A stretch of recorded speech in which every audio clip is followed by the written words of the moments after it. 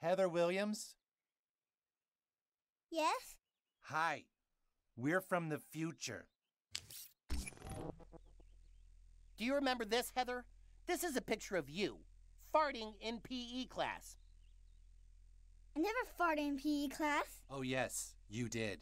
Two kids even smelled it and asked who farted, and you said nothing. I didn't fart in PE class. Heather, I didn't fart Heather. Heather. Yes, you did, sweet pea. Heather, we don't want kids to know you farted in PE. We want to help you.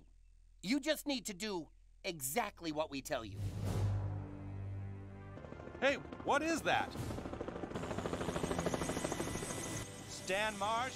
Well, cool.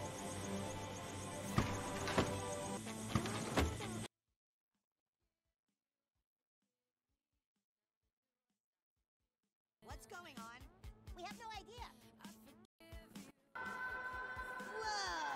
This is amazing!